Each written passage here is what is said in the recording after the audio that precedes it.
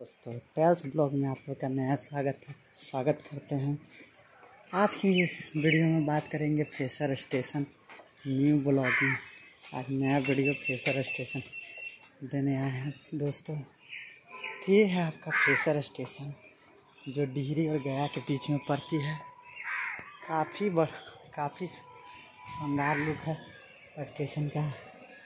ज़्यादा बड़ा स्टेशन भी नहीं है, छोटा सा स्टेशन है लेकिन काफ़ी अच्छा स्टेशन है दोस्तों। और काफ़ी लंबा चौड़ा है। इसके आसपास में काफ़ी सारे गाँव हैं दोस्तों। तो गाँव भी ढेर सानी है। इसके आसपास में आपको रफीगंज के बीचों बीच में स्टेशन पड़ेगा दोस्तों।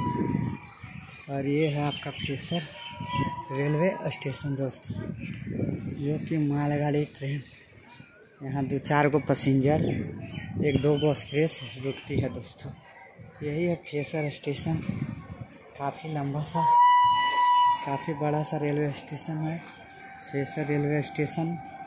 आप लोग भी आसपास के होंगे इसके स्टेशन के। तो आप लोग जान भी रहे हैं